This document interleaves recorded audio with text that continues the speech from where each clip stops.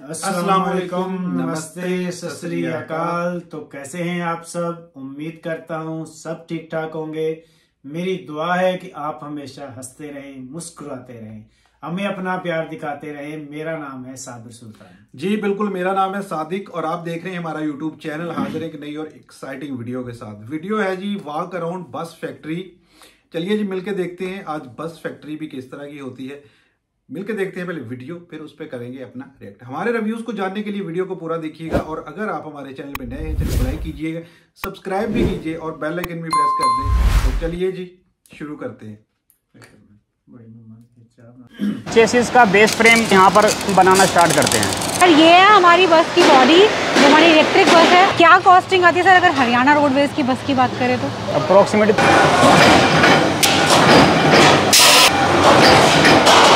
ये shower leakage check करते हैं अंदर वाटर लीकेज नहीं होनी चाहिए। अंदर एक ड्रॉप भी पानी नहीं आना चाहिए। Now we finally reach to the main unit of PMI तो चलिए हम आपको दिखाते हैं अंदर मैन्युफैक्चरिंग प्रोसेस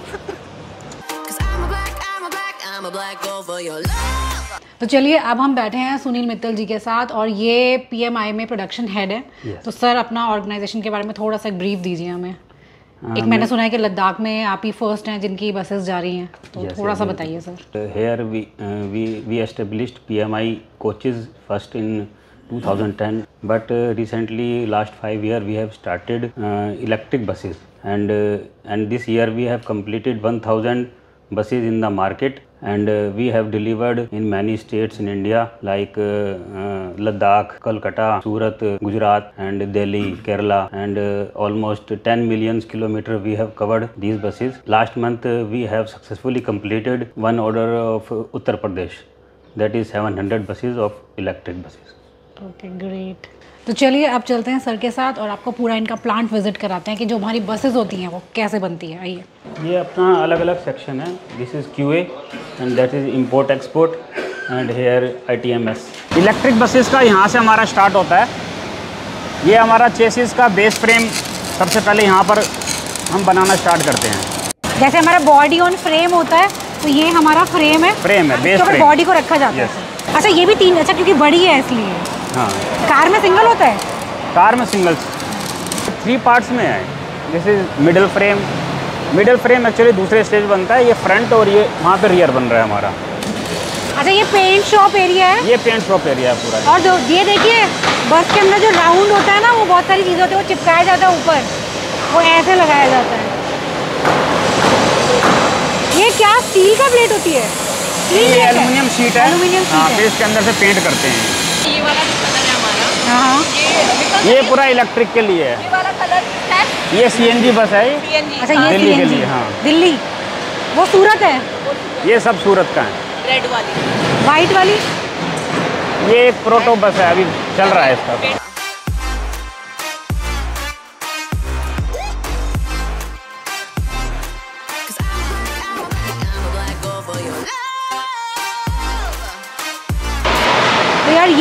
हमारी बस की बॉडी जो हमारी इलेक्ट्रिक बस है और इसके नीचे हमारा पूरा वो चेसिस वाला पार्ट आ जाएगा और ये हमारा कंप्लीट हो जाएगा। जो बैटरी हमारी लगती है बसेस में वो नीचे के साइड पे ही लगती है। हाँ बैटरी साइड में लगती है। एक बैटरी इधर है। अच्छा अलग अलग जगह पर राइट हाँ। दो यहाँ पे। दो यहाँ लगेंगे। तीन दो, बैटरी इधर हो गई चार और पाँच। हाँ। और सबके कनेक्शन सीरीज़ में। है सीरीज़ में। इतना इधर उधर इधर उधर से। पूरा वायरिंग होता है उसका। ये ये बैटरी लो वोल्टेज बैटरी है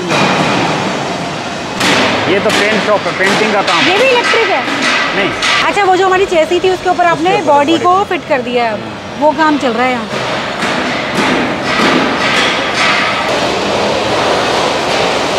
one zero one kilowatt का पावर मोटर है ये जो हमारे बसेस में लगता है। कुछ नहीं है बैटरी कितनी भी हो सकती है मोटर हमेशा एक हो। या मोटर हाँ, भी हमारी नहीं बैटरी तो क्या है हमारा कितना गाड़ी रेंज हाँ रेंज के लिए रहता है वो तो। पहले हम फोर बैटरी यूज़ करते थे हाँ। लेकिन रेंज बढ़ाना था तो हमने फाइव बैटरी अभी जैसे ट्वेल्व मीटर बस है उसमें सिक्स बैटरी यूज़ करते हैं। ये नाइन मीटर बस हैं ये इलेक्ट्रिक है? ये है ये रफ इलेक्ट्रिक बैटरी है हमारी। वो इलेक्ट्रिक बस है हमारी। रफ कंडीशन ये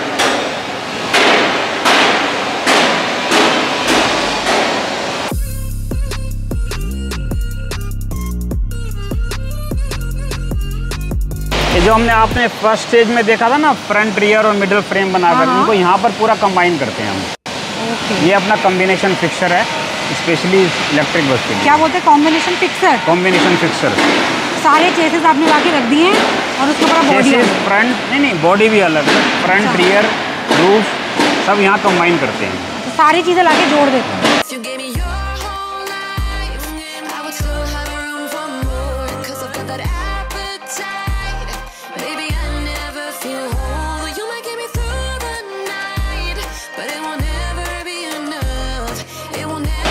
यहाँ पर आप ऊपर खड़े होके सारी चीज़ों को एनालाइज कर सकते हो। ये जब आप फिक्सिंग वगैरह करते हैं तो ऊपर वाले पार्ट्स के लिए कैसे कैसे आप काम करेंगे वो सब चीज़ों का एडजस्टमेंट यहाँ पे किया गया है। सर यहाँ पर क्या करते हैं आप वर्कर ये ये तो जस्ट वैसे मेंटेनेंस के लिए मेजर काम यहाँ नीचे ही होता है कॉम्बिनेशन का। और जो ऊपर का करना है वो यहाँ से कर लेते हैं? हाँ।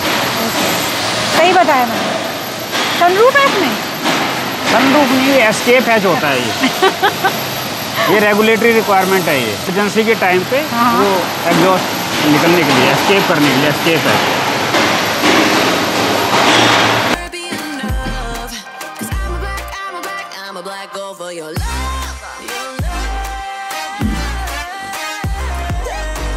कैसी बसेस खड़ी हैं यहाँ पे?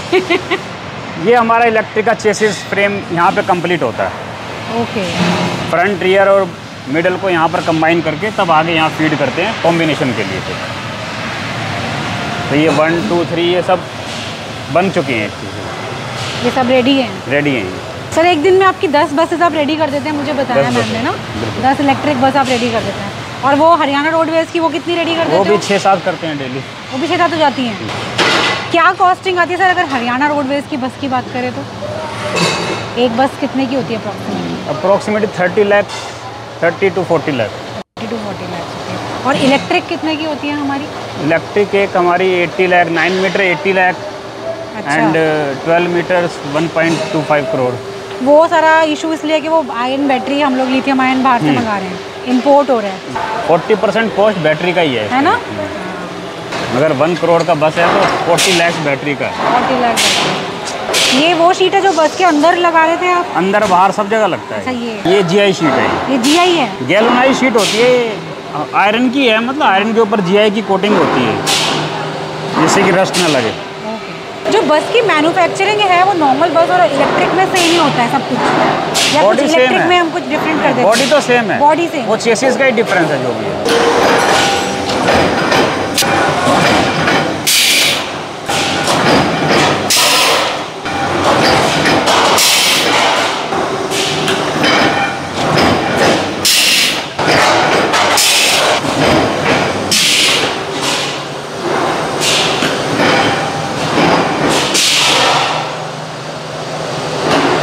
Pre treatment area. जो ये आयरन का जितना भी बार वगैरह आता है इनके ऊपर रस्ट लगा होता है तो यहाँ पर डी रस्टिंग करते हैं। एक बार मतलब उस पर डी रस्टिंग करना ज़रूरी है नहीं तो फ़ील्ड में आगे जाके रस्ट लग जाएगा।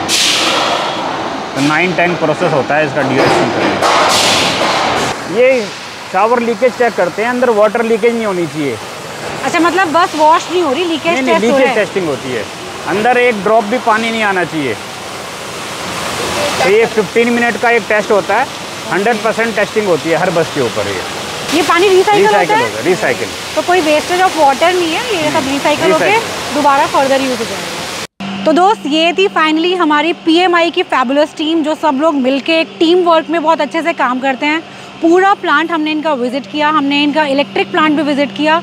बहुत फैबुलसली ये लोग काम कर रहे हैं। अमेजिंग टीम वर्क है और जितनी स्पीड से ये लोग बसेस बनाते हैं जो उन्होंने मुझे बताया कि विद इन अ वीक ये दस बसेस तैयार कर देते हैं नॉर्मल और आठ बसेस आप इलेक्ट्रिक भी बना देते हैं। तो बहुत ज़्यादा अच्छा इंफ्रा है इनका and thank you so much हमें ये अपॉर्चुनिटी देने के लिए कि आपका हमने प्लांट इतने अच्छे से विज़िट किया। Thank you so much sir चलिए हम सबकी तरफ़ से बाय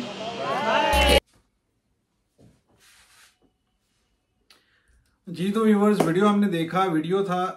बस की फैक्ट्री विज़िट करवा रहे थे वर्क अराउंड था और हर चीज़ उसकी दिखाई जा रही थी। बहुत ही बड़ी एमपीआई की जो फैक्ट्री है बसेस की और वन वीक में दस बसेस तैयार कर देना।